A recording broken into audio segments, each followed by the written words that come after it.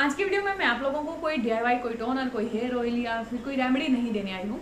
मैं आप लोगों का एक कमेंट्स जो मुझे बार बार बार बार मैं इसको हमेशा अवॉइड करती आ रही हूँ लगभग एक साल से, लेकिन फिर भी आप मुझे पूछ रहे हैं, पूछ रहे हैं, पूछ रहे हैं कि क्या नज़र नाम की कोई चीज़ हो सकती है? क्या नज़र हमारे बालों पे लग सकती है?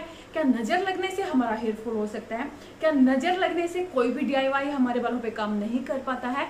यहाँ तक कि इंस्टाग्राम पे भी मेरे पास एक लड़के ने मैसेज किया कि पहले मेरे बाल बहुत ज़्यादा अच्छे थे आ, बहुत ही अच्छे थे लेकिन अब मैं बहुत सारी चीज़ें मैं डॉक्टर ट्रीटमेंट भी ले चुका हूँ। लेकिन किसी ने मुझे बोला कि आपके बालों पे नज़र लग चुकी है आप अपनी नज़र को उतरवाएँ। क्या नज़र वाकई में होती है? तो देखिए, मानने वालों के लिए सब कुछ होता है, सब कुछ। अगर भगवान है, अगर कोई पॉजिटिव एनर्जी है तो शायद नेगेटिव एनर्जी भी है है ना?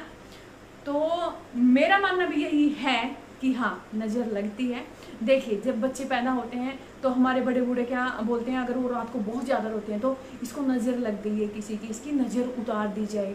और किसी किसी को तो इतनी गंदे वाली नज़र लग जाती है कि बहुत बार उतारने पे जाती है वो। बहुत बार जब हम उसको उतारते हैं वीक में दो बार, तीन बार, चार बार, पाँच बार तो जब जाके वो उतरती है अच्छे से। तो मैं मानती हूँ कि हाँ नज़र होती है और नज़र लगती है। अब बहुत सारे लोग मेरे साथ सहमत हो सकते हैं, बहुत सारे नहीं भी हो सकते हैं, सबके अपने अपने विचार हैं। तो हाँ ये सच्चाई है, मैंने भी महसूस किया है कि अगर आपके बालों पे या फिर आपकी स्किन पे भी अगर नज़र लग जाती है तो वहाँ पे आपको बहुत सारे साइड इफ़ेक्ट आपके ऊपर कोई रेमेडी काम नहीं कर पाएगी, आपके बाल लंबे नहीं हो पाएँगे। अब ये नज़र लगती क्यों है?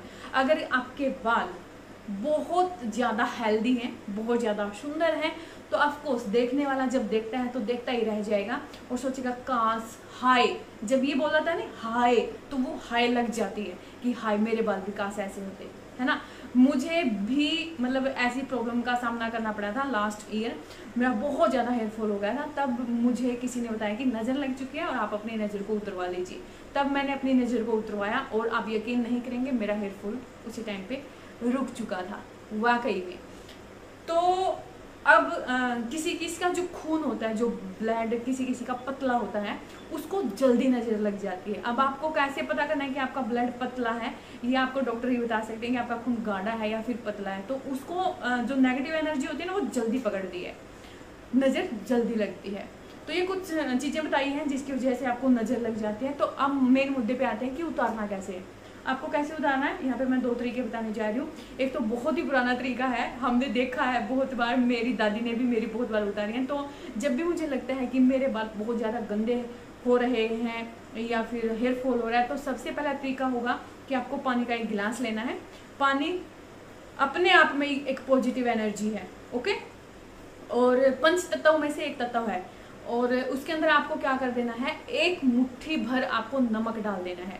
अब आपने बहुत बार सुना होगा कि नमक डाल के पोछा मारेंगे तो नेगेटिव एनर्जी चली जाएगी। तो सेम वैसे ही, जो नेगेटिव एनर्जी आपके बालों पे बैठी हुई है, वो नमक डाल के अगर आप अपनी नज़र को उतारेंगे, सेंधा नमक अगर आपके पास है, रोक सोल्ट जिसको बोलते हैं, वो और ज़्यादा बेस्ट होता है, रोक सोल्ट सी सोल्ट भी बहुत अच्छा होता है। सी सोल्ट सबसे अच्छा माना गया है नज़र उतारने के लिए या घर की नेगेटिविटी को उतारने के लिए। तो पानी में डाल के जो वो गिलास होगा, आपको अपने बालों की लेंथ से लेके ऊपर तक ऐसे एंटी क्लॉकवाइज आपको घुमाना है और उस पानी सेवन टाइम आपको घुमाना है और उस पानी को आपको कहीं बाहर फेंकाना है। घर से कहीं दूर, कहीं बाहर।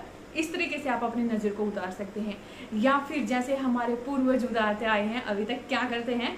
आपको एक कॉटन लेनी है ओके बहुत पुराना नुस्खा है और कारागार सिद्ध होता है ये नुस्खा अगर आप कर लेते हैं, एक ही बार में आपको बहुत अच्छा सा रिज़ल्ट मिल जाएगा। आपको लगेगा कि हाँ आपका हेयर फॉल या फिर आपके हेयर में धीरे धीरे करके मैजिक हो रहा है। कॉटन की एक बाती बना लेनी है आपको। बाती बनाने के बाद आपको क्या करना है? सरसों ऑयल लेना है। देखिए, यहाँ पे मैंने सरसों ऑयल ही हमेशा से देखती आई हूँ। आपको भी सरसों ऑयल ही यूज़ करना है। और फिर आपको उसे उसके अंदर डाल देना है और एक बाती को आपको चम्मच पे रख लेना है। ठीक है ना? आप हाथ में भी रख सकते हैं कोई ज़रूरी नहीं कि आपको चम्मच पे रखने हाथ में भी हथेली में भी आप ले सकते हैं और इसको लेके अपने बालों के चारों तरफ़ आपको घुमाना है। सेवन टाइम आपको घुमाना है। एंटी क्लॉकवाइज ही आपको घुमाना है। ठीक है?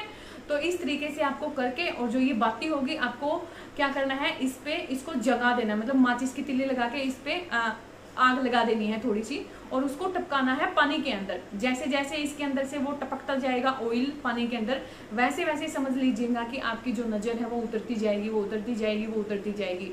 क्योंकि कैसे काम करता है ये? देखिए, जो ऑयल होता है ना, वो एक पॉजिटिव एनर्जी होती है ऑयल जैसे हम जोत लगाते हैं भगवान की दीपक जगाते हैं ना, घर में किस लिए जगाते हैं? ताकि पॉजिटिव एनर्जी आए।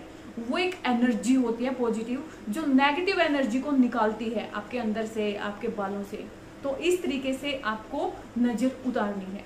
बात करते हैं कि वीक में क्या ऐसे डेज़ होते हैं जिनमें ही आपको नज़र उतारनी है। हाँ मंगलवार और शनिवार को अगर आप नज़र उतारेंगे तो आपकी नज़र फटाक से उतर जाएगी।